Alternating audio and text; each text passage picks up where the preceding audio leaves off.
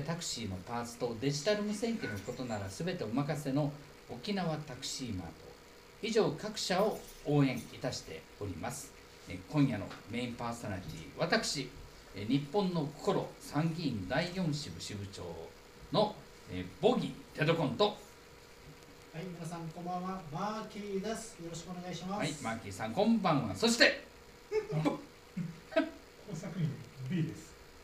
よろしくお願いします。工作員工作員 B さんどうもお久しぶりでございます。まさに変態仮面。はいはい、えー、YMO もジュリーもナチスの服を着ています。キコちゃんです。よろしくお願いします。はい、こんばんは。えー、駐車場でスケボーなんてやってたら、えー、そのうちスケベな坊やって呼ばれるようです。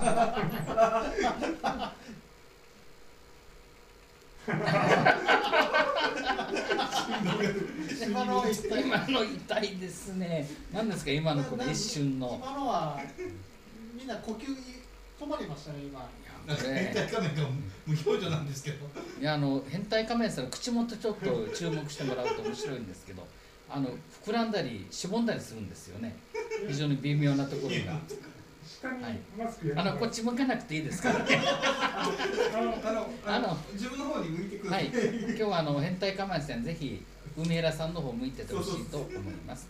え今日はですねあのツイキャスの方でも生でえ全作品に発信しておりましてまあこのスタジオの様子が、えー、他はもうこれね沖縄だけじゃなくてあちこちで見れるということになっております。あの例えばアメリカとかカナダとか今日カナダから多分見てるまあ、方がいらっしゃいますね。見てくださ。はい。いそして南米の方でも見ることができます。あの先日まで沖縄に来ていたあのうちなんちゅ大会に参加された方々も。もしかすると見てるかもしれません、まあ、そういったね方々に最近人気があるのが HK はい、そうですね。話がやっぱりそこに行きますか。はい。HK というのなんか最近売れてるらしいんですけどはい。あのーご存知ですか？皆さん。HK 海枝さん得意ですよね。HK ってまあ香港も一応 HK なんですけども、まあ正解は、えー、今ここにいる あの変態仮面あの工作員変態仮面ですね。でもこれでスーパーに入ったらどうなるんですかね。私ちょっとちょっとあの、もう。行きますか？今から勇気を出して。いや面白いと思いますよあの喋るんだったらマイクに向かって喋って。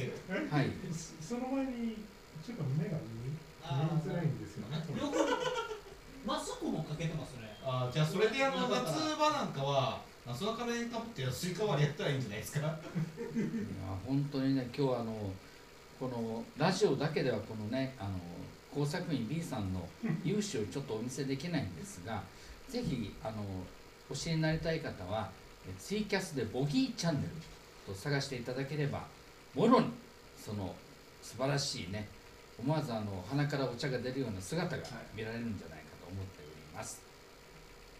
さて今日はあの沖縄のビデオショップでは、えーなんか木曜日はビデオが安くなるえ日らしくてですね新作が100円で借りられるということなんですけどさっきあの知り合いのビデオショップのアルバイト生に話をしたらやっぱり一番人気がウォーキングデッドらしいんですよね。で借りに行ったらもうウォーキングデッドが何にもないって苦情まで来てるということでございまして。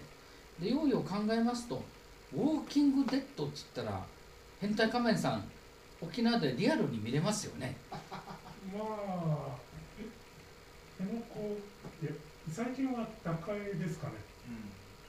高い行ったらもうもろに見れますね。ぜひあの変態仮面さん喋るときはできればカメラの方向かってかお願いカメラこれこれこれです。こっちですね。まあちょっとよく見えはい、はい、いや見えなくて大丈夫です。高いだと遠いあの高いだと遠いので。あの毎週、えー月火木の、えー大山ゲート前かもしくは、えー水金のあのカネナの、ね、ゲート前に行かれるとあのもう本当にリアルに見られますね。ウォーキングデッドが。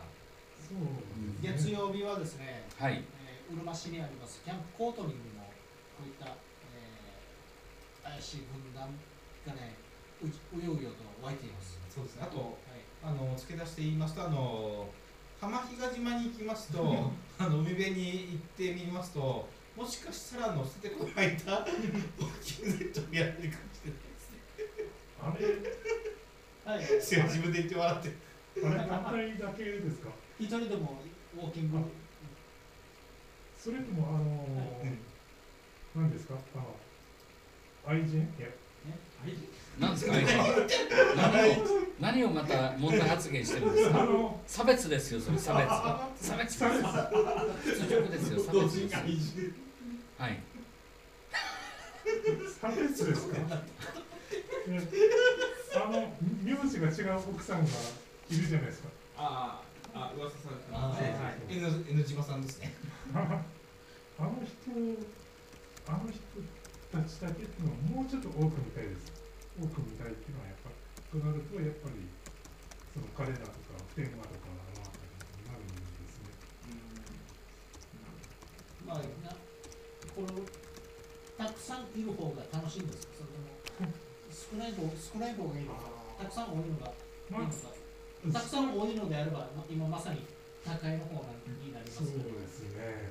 高江はちょっと遠いですし車で行くとあの検問されちゃいますからね。あえなので行くまでが結構難儀なことになってしまうので、少人数制で行くならあの大山ゲート。はい。あの多くの人を見たいのであればあの嘉手納のはい。第一ゲートかもしくは第五ゲート前っていう。そうですね、特に嘉手納の第一ゲートっていうのはあのね宮下さん一緒に行ったことあると思うんですけど、すごいですよね。襲ってきますよね、えっ、ー、とねもう、えー、まあ、前前に中佐とモーリー大佐と、まあ、僕も、えー、とサポートとして行きましたけれどもねかなり人多かったですしまた彼らはかなりエキサイティングしてましたね。はい。まあ、えーそれがね、えーこのみんな集まってきてね一人一人エキサイティングでやってたんでまあびっくりしましたけど。これがねまた帰るときに僕は戻るときにえーっとですねちょっと少し遠回りしまして、えー白川ゲート白川ゲートっていうのがあるんですけれども見たんですよ。20人ほどいたんですね。はい、20人ほど。第1ゲートは交通量が多いので、人は多いですけど、で他のところも、えーどうなんだろうなというです。また、第5ゲートの方も、かなり人数は多かったというのがありました。じゃあで、最初発表だと100人は超えますね第1ゲート、えー第5ゲートも集中してやってる、こういった情報があるので、この全部まとめて言うと、一体どれだけの人が集まっているんだろうという、あのーなりますね。かなり大あの風の基地は広いですから、はい、もしかしたらあのポジションがポジションを決めていてはい、あの分担されてるかもしれないですね。うん。ええ。そうですね。そうしないとやっぱりあの運動っていうかやっあぱりあ、平和運動というのは、まんべんなくやる。と。彼らこういうの好きじゃないですか。ちゃんと規律守ってこんなところで。軍隊みたいになんか。いやでもねあの時間はぴったりですからそうそうそうそうね、言われてみれば。これあの沖縄県民の皆さん私これねはっきり現場に行ったものとして言いますけど彼らは高度に組織化されててまるで軍隊みたいなんですよ。でなぜ軍隊かと言いますと彼らはあの通信部隊っていうのがまずあります。ああの無線機を持ってあの例えば今ここを誰が通りましたと。で例えばこの辺野古だとですよあっちこっちにその通信部隊が隠れてるんですよ。あ、隠れてますそしてそこをね例えばあのチェックしてる車が通ると。するとこれをあのきちんと見てて今あの何々の車が通りましたと。誰が乗っています。国会議員の何々が乗ってるみたいです。っていうこと。を無線ですぐ流すんですよ。そして補給部隊。はい。つまり水とか食料を運ぶ部隊がいます。そしてあの給水部隊。つまりあの衛生面。トイレのねあのトンスル号とか運用してるのはそこの人たちですね、えそれとあのやはりこの軍隊と一緒で歩兵部隊とか工兵隊とかもいるんですよ。で工兵隊っていうのは基地土方といって、はい。台風の時とかに借り出されてですよ。あのニラの束を結構ね多めに持たされてそのテントの撤収、はい。もしくはそのテントの再設営とかに借り出されるのがこの基地土方と言われる人たち。そして、えーいわゆる、えー一般の歩兵。はい。この人たちは、えー基地のゲートの前であのプラカード持ってあの邪魔してる人たちですね。でこの人たちよりちょっとあの上の人たちがレンジャー部隊になるんですよ。こういった人たちは今度あの高江の森の中を、ね、30分かけてジャングルを踏破して 国頭村の,、ね、あのヘリパッド工事現場まで侵入をしてそこであの大騒ぎをすると、まあ、当然基地の中に入りますからもう平気でこれ法を犯してるんですけどね。かなりこのジャングルの中をそうなんですよ。40分も更新してこのヘリパッド建設現場まで行くというのはかなり計画的であなければできます手慣れた人で30分。はい。でちょっとねあの足の悪い人とか、はいまあ、年配の方になると40分ぐらいかかるんですよ。で当然森の中ですからヤブカはいるし、昼もいるし。ね、小川が流れててぬかるんでるところがある、そういったところを獣道を最初使いながら踏破していったんですけど、はい。彼らがもう当たり前のように通るもんですからとうとう森の中に道ができちゃってるんですよ。つまりこれって自然破壊そのものなんですけどね自然を守れって言ってる人たちが自然を壊してるっていうおかしな状況が生まれてますけど、まあ、変態仮面さんこういったあの自然を守れっていう人たちが自然を壊してることについてどうお考えですかね？うーん。もう本末転倒っていうしかないのかなちょっと違うんじゃないですか？これ本末転倒。って今の状況が本末フォーフォーマス転倒。ですかあの人にやるな自然破壊するなって言っときながら自分がやってるって。うんおかしいですよね。まあもうお笑いのネタネタにもならないさすがあのあれじゃないですか。アメリカの核は汚い核だけどソ連の核は綺麗な核だって言ってた人なんかに通ずるのがあるのかなそうですね。はい今早速あの小笠原さんからメッセージが届いております、はい。オキパンの軍歌の音が聞こえると。はい、そしてシンマンさんからのメッセージですね。確かに獣のレベルですねと、ああすごいですね。獣はね森を破壊しませんけれども彼らはもうすでに森を破壊しています、もう獣以下ですね。はい。はい。そして、えーまたどんどんこれメッセージすごいですね。白洲わかめさんからこれ実名で来ています。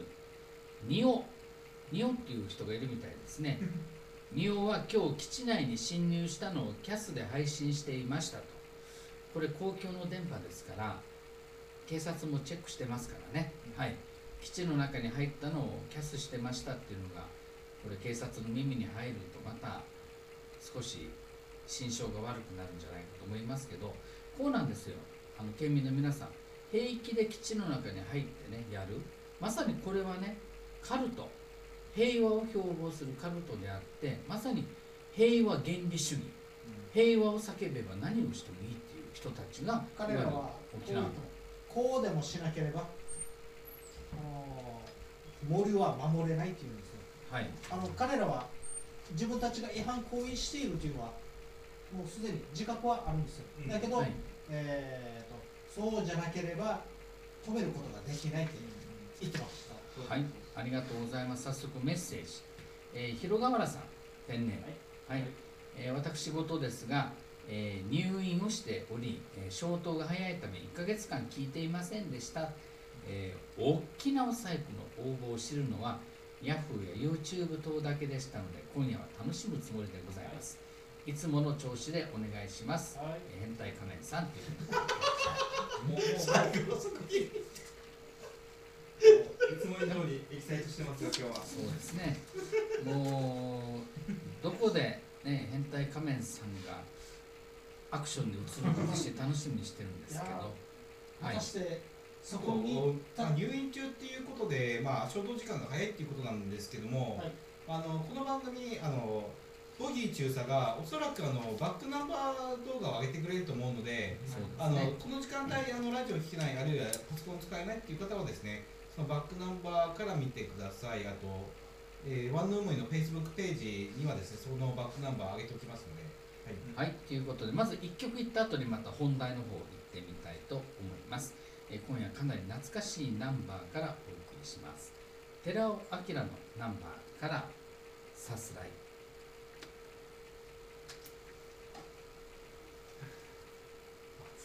暑い。ですか 寒いのに脱水症状を起こさないでくださいね。もう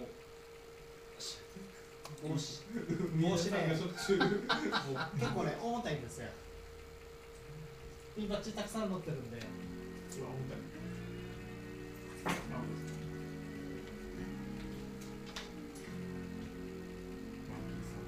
これずっとこうですか旅行でね。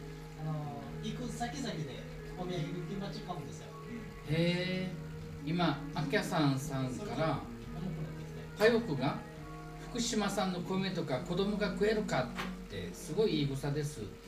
ひどいですね。あ差別ですね、言って差別。はい。そして鈴猫さんから今日はスマホを見ない HK って送ってきてますね。ていうか今日見れない。見れない。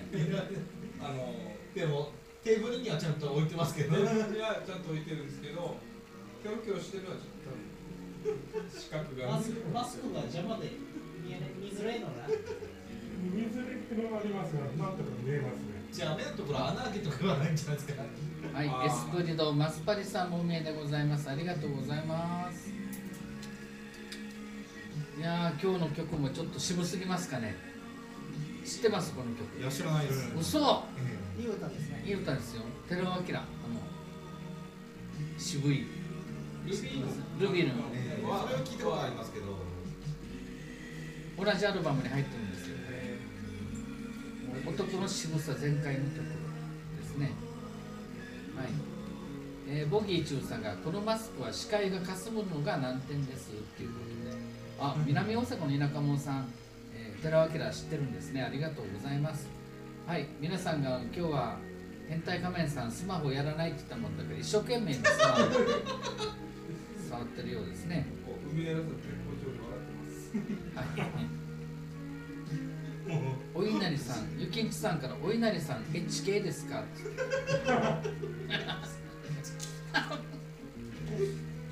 工作員 B です。工作員 B なんて言ってますけど。あの笑いが平和だなということで。はい。でも B さんこの格好でデートとか行くんですか？いや、この格好ではないですね。どうしても。デートの相手は海原さん誰なんですかね？やっぱりあの方ですかね？あのそうですね。あのワイコさんですか？ワイコさんあのよくツイキャスやって夜中の街をさまよってるああ N さんですね。あフィンガーボーイ。ですかフィンガーボーイ。やっぱりやっぱり好みなんだ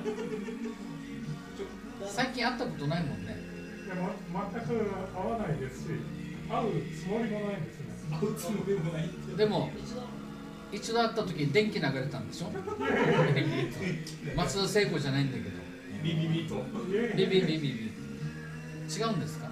あれは、ちょっと人違いされてると思うんですけど、ああ。れは工作員 B ではないです。私ではないです。ああなんかだんだん意味が分かんなくなってきましたね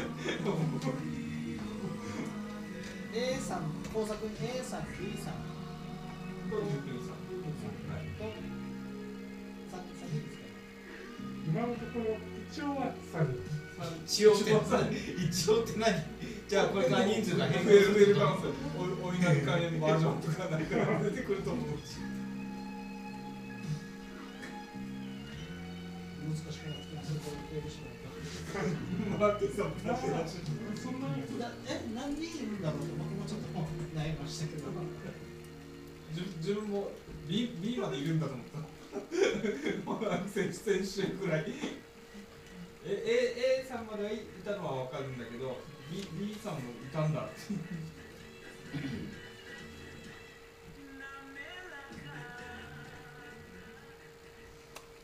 はい、えー、暑くても寒くても年がら年中山下達郎の BGM しか書けないというワンのムイでございます、まあ、スタジオはいつも夏気分ですからね、はい、ただしあのクリスマスの曲に関しては沖縄一早く書けますからね。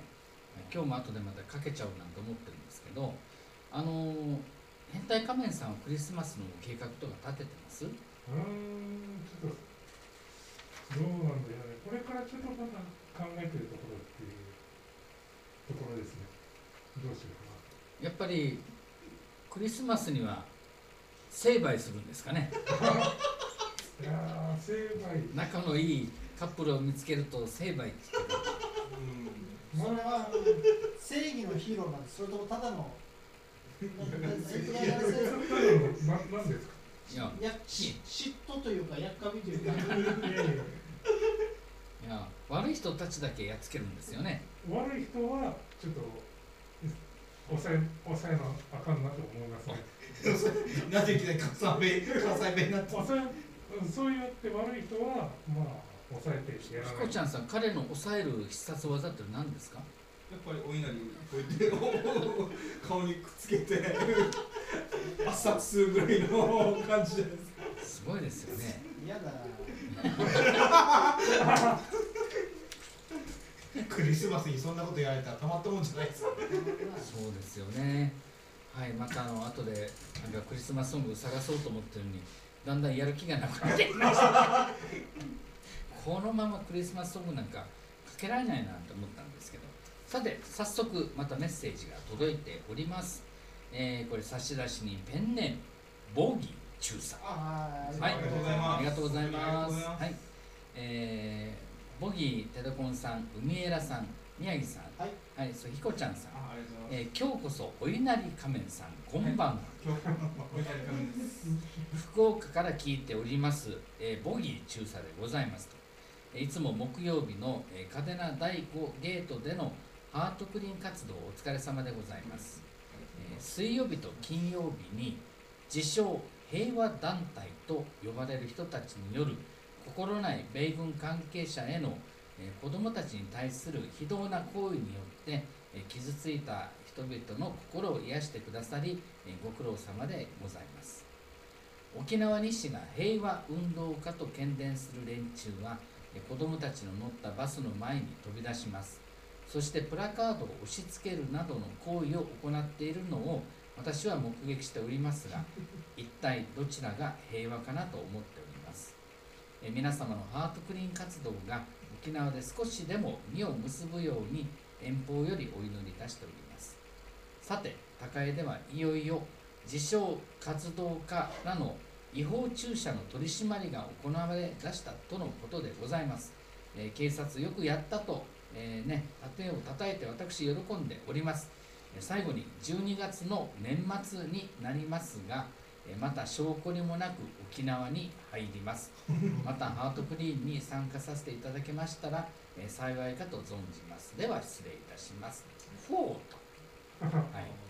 年末ですか？年末。あーじゃあちょうどクリスマスの時期になるかもしれないのでその時はサンタの格好して、あえーハートクリーンやったら面白そうですね。いいですね。みんなでちょっとサンタクロースとか自分はどう見ても太めのトナカイかな。はい。そして工作員 A さんそのまんま。このまま立ってあのコスチュームも本物のコスチュームに着替えて。12月と、まあ、沖縄でも12月はちょっとやはり寒いね朝方は寒いんですよ。ぜひね見てみたいですね、ちょっと寒いでしょうね。はい。はい水をぶっかけてやりましょう。でもあのーずっと体を動かしていれば大丈夫ですよ。それで熱くなりますから、しかし今ねあのボギー中佐の話にあったんですけど、はとうとう警察が本気を出してですねこの平和運動からの違法駐車の取り締まりに乗り出したんですよね、で無慈悲にも、はい、黄色い紙をペタペタ貼ってるっていうことで彼らすごい大発狂してるんですよ、ね、検挙するんだったらなんで前もって言わないんだって言ってるんだけどそれはねあの泥棒がですよ。人の家に泥棒に入って捕まってですよ。俺が入る前になんで言わないんだって言ってると何にも変わらないと思うんですよね。で駐車禁止そのものの取り締まりの手法としましてはやはりこの車を何分止めてるか。あの大体目安が5分なんですよね。5分以上止めてると駐車っていうことになっちゃう切符切られます。はい。変態仮面さん切られたことあります？いや違法駐車やっちゃまずい嫌いとことないですないですか？はい。はい。私もあの18年ぐらいはい。あの無事故無違反のゴールド免許ですけどね。はい。梅原さんあたりもなんかゴールド免許っぽいんですまあ一応ですねあの自分はあの駐車は特に気をつけてるんで、はい。駐車違反しないようには特に気をつけてるんでさすがですね、そのお堅いところが全くあの方とそっくりですね。あの方みたいです硬いですよね。でも共産党になるとなんか今回、えー、切切られたことに対して文句言いそうですね、はいそこは自分とはもう180度違いますけど。そうですね。はいまあ似てるのは外見だけっていうことで中身は全く全く丸反対。会見もそんなにないと思いますけどさっきツイキャスではかなりのお茶をいただきましてあの海枝さんがあのジーンズ小池さんに似てると思う人はお茶くださいって言ったらお茶が20個ぐらい集まったんですけどね、はい。結、構それあのそれはあのまあ本当に似てるからじゃなくてあのお茶だけ茶化すだけに してるんじゃないですかうまいですね。いなあぜぜひね。あのこの実物僕たちはあの目の前にこの梅屋さんいますけれども実物と実際に見に行ったらどれくらいなのだろうというのは興味ありますね、はい。本当に似てるかどうか。みんな言いますけれども写真を見れば、まあ、似てるかもしれません。どうだろうという感じですね自分では似てると思うんですいや自分では似似てるとは思わないんですけど。ちょっとちょっと似てるなっていう。のがありますね。そうです。まあこれはもうキャスを見てるはい。視聴者の方々にお任せをしたいと思いますけど。はい。あの後でまたキャスの方で皆さん似てるか似てないかということでねあのまたお送りいただければ地上波に載せてきちんと証拠として残そうと思っておりますので。あとうん。変態仮面さんに望むこととか、はい、これをやってほしいっていう。え、変態仮面さんはいつ出てきてくれるんでしょうか？クリスマス？あのなんていうかあハートクリーンまだハートクリーンハートクリーンですよ。してないいつもはハートクリーンやった時いつ来るんだろうねって。話みんな話してますよ。あでもあの HK の格好で来たら多分警察来ますよ。あ間違いなくスクールバスの後ろにパタさん そのままちょっとすいませんっつって職質されてあ、止まれないんだ。止ま止まれ常に動き続けないとダメなんだ。カクカクと動いてるとますます怪しいですね。はい、ということで、えー今日も、えー楽しんでいる、えーワンヌウムイでございます。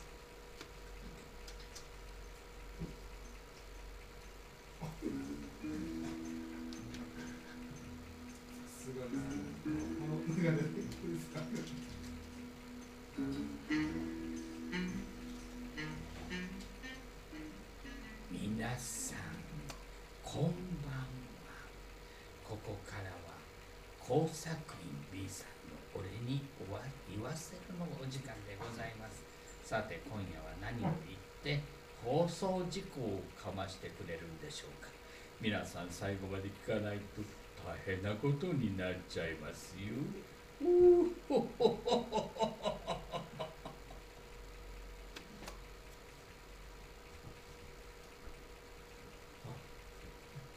えー、っとですね、まあ、いろいろ平和活動って、やっぱり中でいろいろやってるって話題にななるんですよね。まあ、まあ、どういう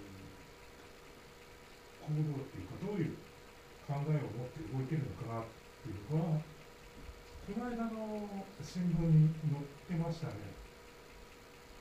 どんどん相手を、反対派は警察官も相手に挑発を繰り返して、はいもうそういう土人とかもっとひどい発言を取ってはい問題にししてしまいっていうような趣旨のあの文が載ってましたね。東大教授があの、そうですね。はい、書いてありますよいやねはーこれ普通に考えてこれってあのいじめのあのやり方じゃないかなってまさしくこれこそいじめじゃないかなって思うんですよね。まあ、いじめって集団でやってたかって、もう小さく小さく小さく交流していって、相手を怒らせて、相手がわーってなって出たら、あのひどいっていう、それ、そういうやり方なんですよ、子供のいじめって。まあ、それを大人がやるっていうのはどうなんだろうなって。そんなことを新聞が推奨してる沖縄ってどうなんだろう。その新聞社が考えてる沖縄の未来って、本当に平和なのか。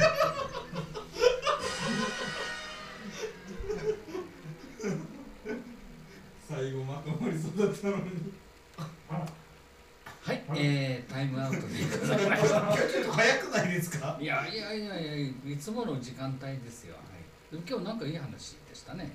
あの放送事故を期待してる人たちはちょっと残念だなと思ってると思いますよ。はい、早速またメッセージが届いております。えー、オフィスおしおさんからですね。はいえー、ボギーさん皆さん変態ライダー仮面さん 変態仮面ライダー確かにライダーかもしれないですね今日は。はいこんばんは、えー関東のオフィスでございます、えー先日沖縄左翼活動家は、え国頭村の採石場に現れ道路を封鎖してトラックを止めて大げさ太郎なる者がツイキャスをしていました、え大げさ太郎氏はトラックを止めてるよと、え大げさな興奮をして実況していました。まるで止めることだけに喜びを覚えてるような感じもしました。えーこの大げさ太郎というのは県外から来た活動家ですね。はい。えーしかしそこへ地元の農家の方と思われる方から、えー大電撃級の激おこ雷が落ちました。えー謝るばかりの大げさ太郎。謝るぐらいなら最初からやるな。私はそう思います。えーリクエストは、えー阪神タイガースの六甲おろしをえー山城博司容疑者に届くように、えー変態仮面実行委員長の工作員 B さんの歌でお願いします。バックコーラスは梅原さんの、えー波のささやきで大発表してください。では何のささやきでねいや面白いですね。ああれ歌は歌わないんですか？六甲おろしだって言ってますよ。変態仮面さん。あの六甲おろしさっそうとって。どこおろしにさそうと。これ以降がちょっとわかんないです。すいません。ちなみにあの変態仮面さんはプロ野球チームどこを応援してますか？うーん。お応援してるなないです。いやいや普通にタイガースって言ってくれてよそれかカープとか赤い赤い野球すごいなんか期待を裏切ってくれていいですねもう脱力感が絶好調でございますね。はい、変態仮面さん最高ですよ。こういったところはさすがだなと、はい、私感心をしております。はい、えーということで今日の、えー、ゆうくにに言わせろのコーナーではなく、あの変態仮面さんに言わせろという、結構コアな内容でございました。いやーでも本当にね、この大げさ太郎なるものがやってるキャスの中で地元の農家の人がすんごい怒ってるんですよね。はい、これはあのぜひ近々にまた皆さんにお聞かせしようかなと思うようなものなんですけど、とにかくひどいですよね。皆さん聞きました？はい聞きました聞きましたはい。内容変態仮面さん覚えてますかね？どんな内容だまあ、まあ要はみみかんが出荷できないからこんなことするなみたいに怒ってるんですよねそのあの農家の方の車の前に工事工事用の工事用のバッグが結構並んでたんですよね。あんな大きい車があのあんな田舎の細い道に並んでいたらその普通の小さい車がそばを通り抜けようとしてもやっぱ相当難しいんじゃないかなと難しいしまた事故が発生する可能性もあるしですよね。でだから大げさ太郎氏のあの言い分では一般車両はどかしあ通すようにして工事車両のあの止めてるだけだよっていうのもなあのへりくつなんですよ簡単にそう。も工事車両だけ止めている、う、うん、一般車両地元の農家の車両は優先的に通していると。彼らはそう思ってはいても実際に交通妨害であることにそうそうそう。変わらないんですそう。よまあ、それをもうひたすら言い訳、うん。えーしてた、まあ、結局あや謝って、えーもう今後やろうなと、えー地元の人のこの怒りを感じる、えー音声ありましたね。あの動画見たらあのあの農家のおじさんは相当我慢してると。思う、はい。いややんばるのおじさん本当に怒らせて大変だよ。気荒いよあと、大月太郎のツイキャスかどうかわからないんですけども、あの、まあ、高井の方でのパイナップルを栽培している農家が、まあその出荷のために、あの移動していくときにあの反対派に邪魔されて、うん。まあ、パイナップルがあの売り物にならなくなったっていう話もありますよね。うん。これってあの営業妨害にもなりますし、あの損害賠償を起こしたら、ええあの裁判であっても確実に勝訴できると思いますね。え彼らは、えー、と本当に地元のためにやっていると言っても結局は反対したいだけなんですね、うん。地暴元れ暴れたいだけあれだけ集まってしか見えないね本当に地元があればうんぜひあの地元の皆さんにも認められるように、えー、正当に正しい、うん。えー、抗議活動をあのあの動画見てももあのそのおじさんはあの反対するなとは言ってない。ちゃんとあの守ってあのみんなに迷惑かけないように反対活動をしなさいまでそこまで言ってるのにあのああいう状況だからもう怒られても仕方ないし、うん、地元のため地元のためって言うんだったら、あのまあ、農作物がダメになるようなそういった行動はあのしなきゃいいんですよね。ええ。あのまあ、出荷していたパイナップルをあの売り物にしなく売り物にならなくなっちゃうようにすることをあの地元のためって言うんだったらもう本当にこれはもうなんていうかもう死滅裂ですよね。彼らのやってる本平和運動というのは本当に平和につながることなのだろうかという疑問はありますし、でもそういった時こそあの変態仮面の出番じゃないですか。あの彼らを成敗してあの高いの方々を救ってください。むしろ逆に全員に取り取り押さえられてしまったら、まあ、一一人で行けますか？一人で。いや一人僕一人で行けますかね？これはまあねまあ行くとしたらやっぱり証拠を抑える教育者が必要あだあの仲間が必要なんだ。いやもう消化は十分揃ってますよ。あのザ・ファクトが動画でも上げてますし、えまあいろいろまあ後々のこと考えて動画が必要だあのゆ勇気がない。うん、変態仮面さんのまあ、確かに一理あるあのさっきあの海原さんが言ってたけどファクトの取材班が29日にまた行ってあれしたらだから結局あの大げさ太郎とあのもう一人横川圭樹、うん、あの人たちに取り囲まれてあの、ね、挑発ずっと受けられてるから。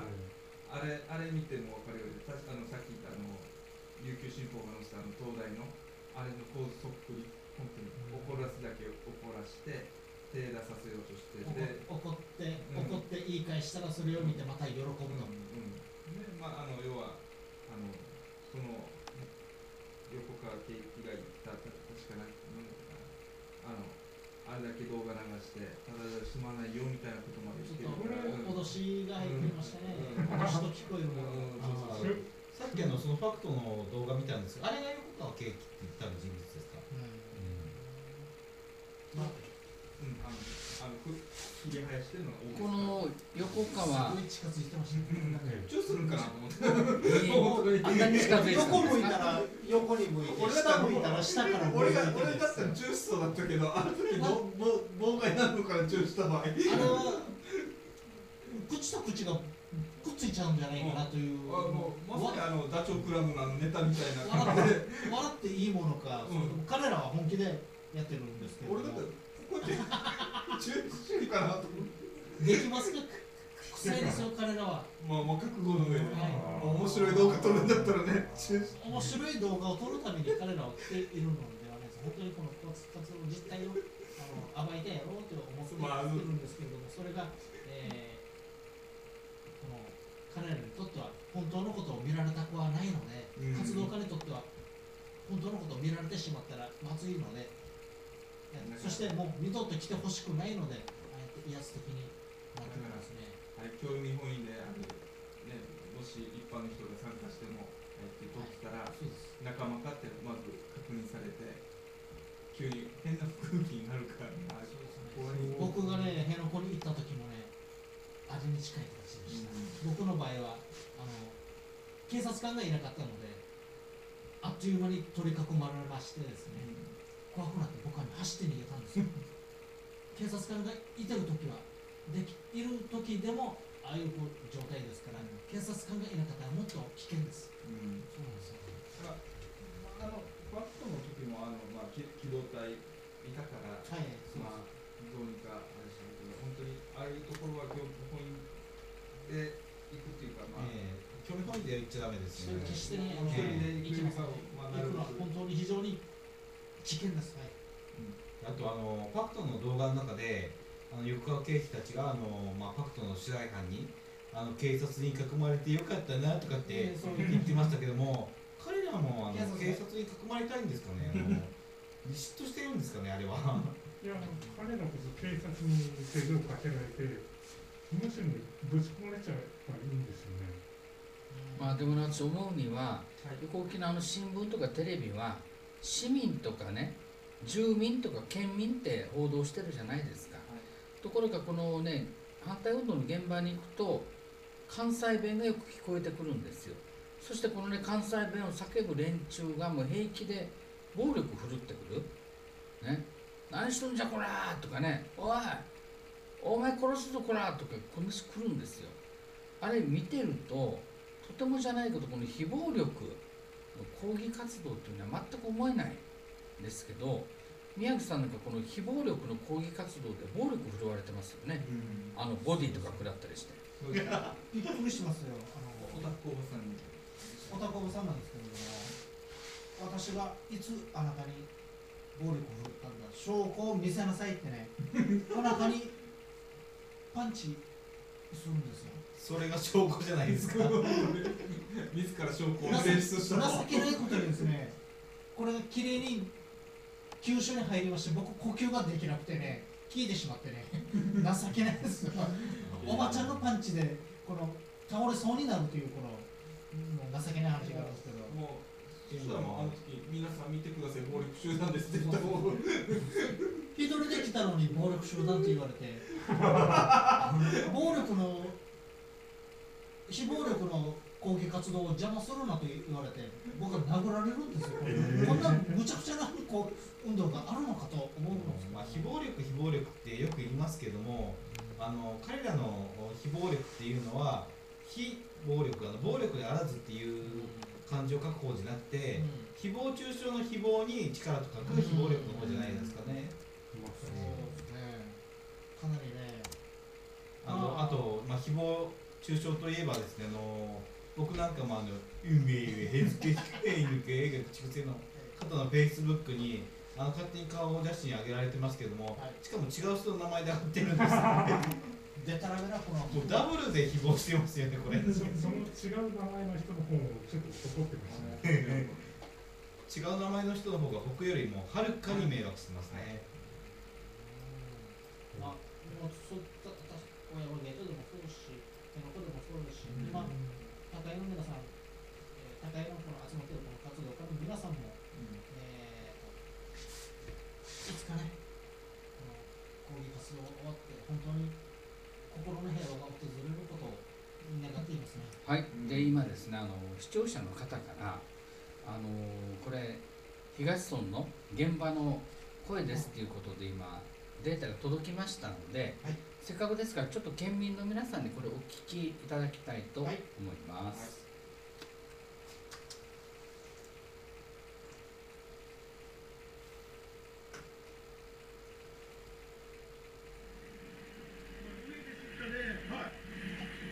みかん出荷できなくて困ってる人もいるんだよ。どうせよ。もう、農業やって生活かかってるんだよ。一般車両先通してましたよ、お父さん。じゃあ機動隊が来たから、それのこと。そんなやって車止め方してるから、一般車両通してた片側に寄せるよ。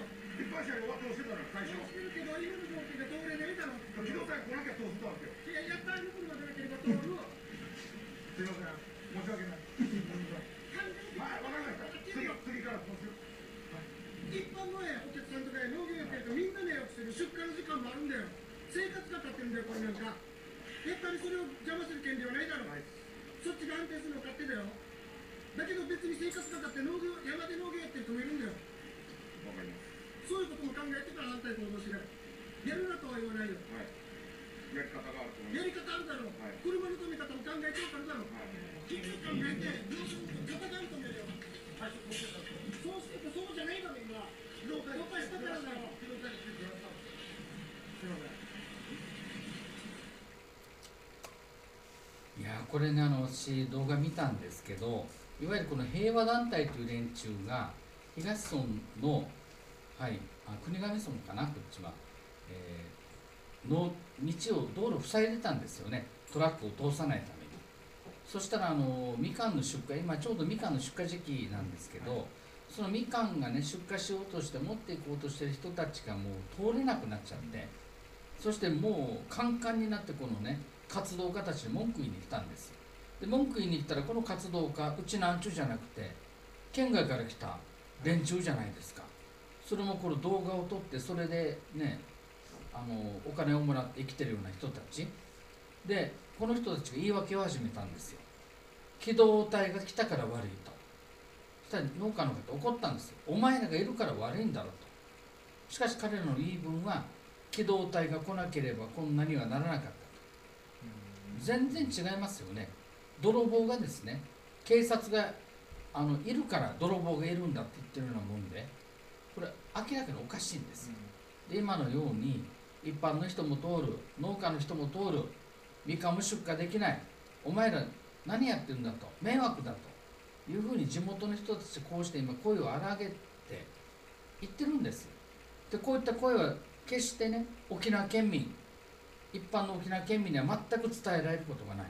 これって県民の皆さんおかしいと思いませんかこれ？ね。こうやってネットとか私たちのように報道されない真実を伝える番組でしかこの現場の本当の、ね、住民の方々の声っていうのは届かないんですよ。どうぞ新聞見てください。指揮者とか、ね、平和団体の方々とか、ね、声の欄投稿欄はみんな反対派ばっかりですこんなことばっかりをね載せる新聞そして報道するメディアいかにも機動隊代わり、ね、土人発言が県民に対する差別だなんだかんだと大騒ぎしましたよ。だけど平和団体現場で何て言ってるんですか？お前の家も分かるんだぞ。お前の妻も分かってるんだぞ、ね、そしてとんでもない発言してますよね。その尊厳に関わるような発言まで。生きていられると思うなよとも言うし。この女性をですよ手ごめにするようなことまで警察官に投げつけてるんですよ。しかしこれは沖縄県議会の与党会派の人たちに言わせてみれば、ね、抗議活動をしている一部の人たちだけがそういうことを言ってるから問題はないと。しかし逆に機動隊員一人の若い機動隊員が土人と言ったらこれは沖縄県民全体に対する差別であり屈辱だと侮辱だと言って県議会そして最近では緊張議会でも抗議決議が行われた。なのになんでじゃあ機動隊に対する抗議決議あの機動隊に対してのこのヘイトスピーチ機動隊は死ねとか、ね、お前の奥さんをねどうのこうのとか言うそれに対しての抗議決議が行われないのか。そしてこれが何でメディアが報道しないのか。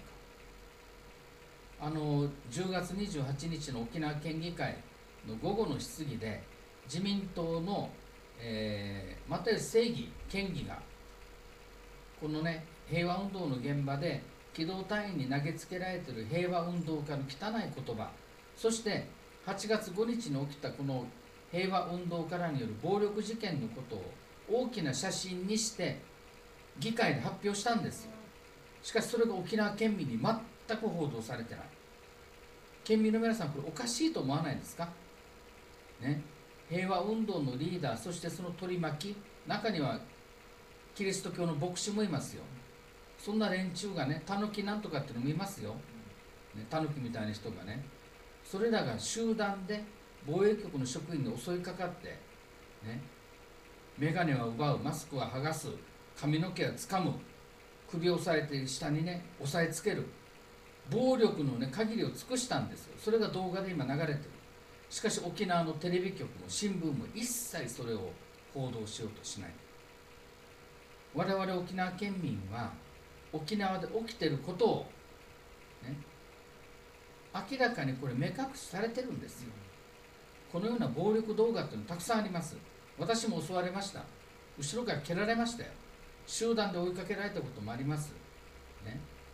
そういった動画がたくさんある。で去年の4月14日には名護市在住の S さんという方が、ね、現職の名護市議と現職の茶炭町議が混じっている集団に取り囲まれて暴力振るわれてるんですよ。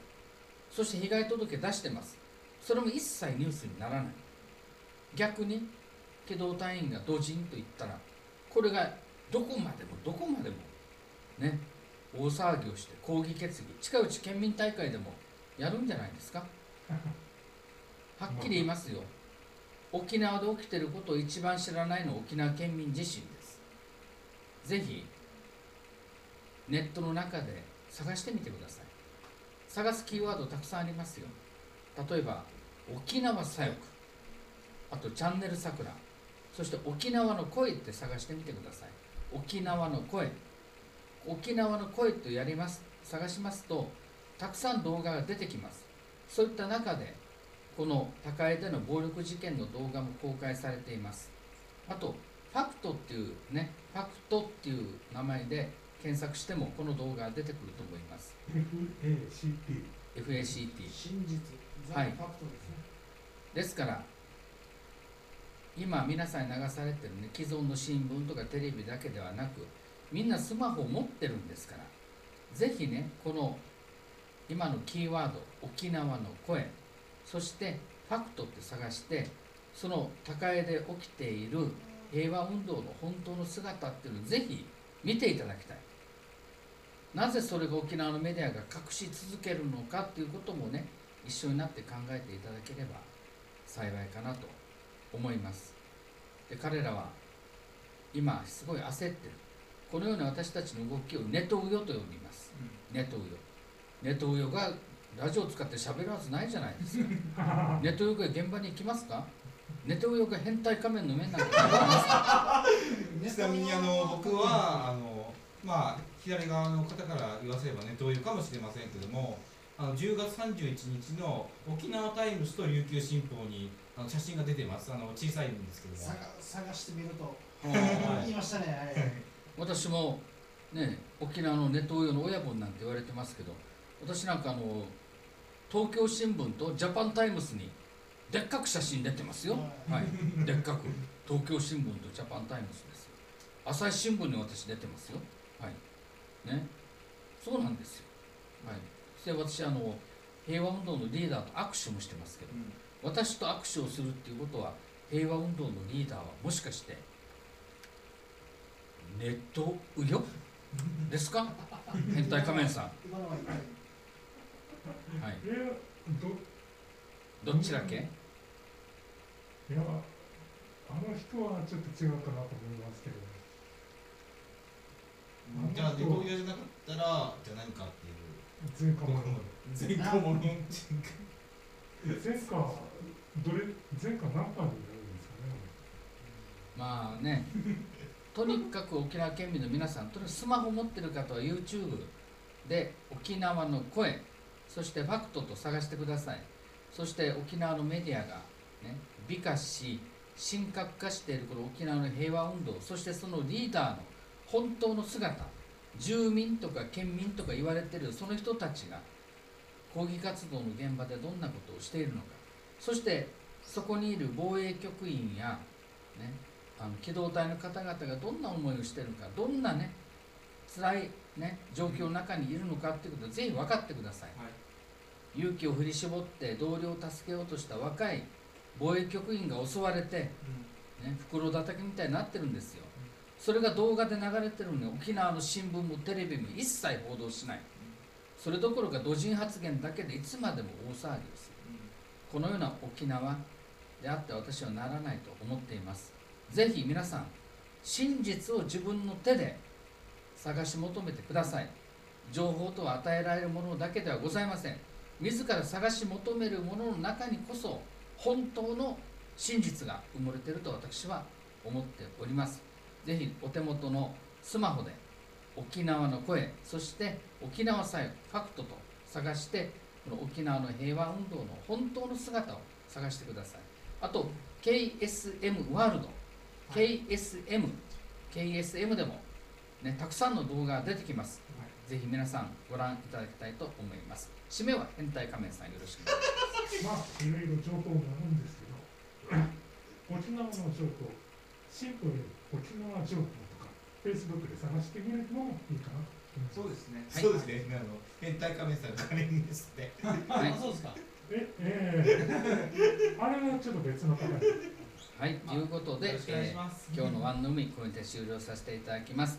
ぜひ皆さん真実を自分自身の手で探し求めてください。ではまた来週お会いしましょう。ごきげんよう。おやすみなさい。ありがとうございました。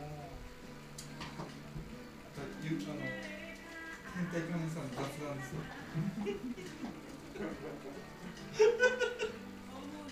あのまあこれあのスピ暴暴言ですけど手の子にいたって僕カメラ顔写真撮られたんですよ。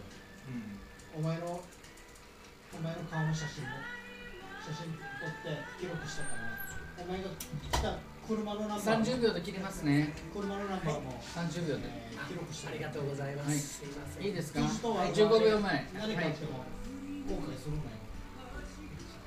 自分のこの嫁さんと子供にも何か。はいラジオフェードアウトします。5秒前4 3 2 1はい。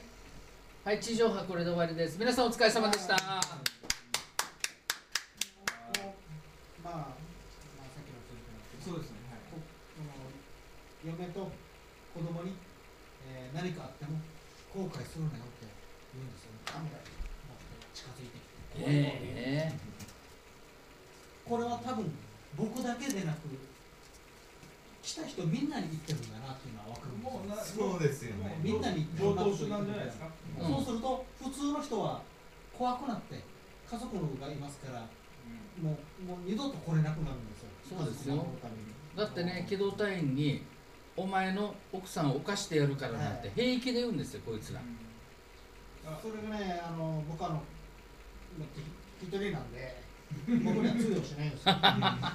僕にこ嫁も子供もいますので通用しないあの宮宮城さんもやっぱり彼女募集中ですかね？はいはい彼女募集中。ぜひあのキャスで呼びかけしてもらえます。か照れるな。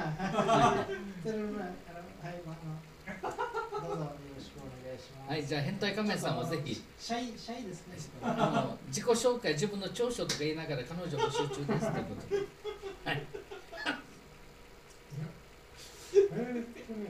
通にもうどうも変態仮面ですっていう感じでのこういう感じのノリで。まあ言ったらいいですこんなノリの話についてくれる人がいます。いますよ。いますよ。いますよ。いますよ。陽子ちゃんとか。ナナとか。あらいいですね。ナナちゃんとか。はい。ダメダメダメ。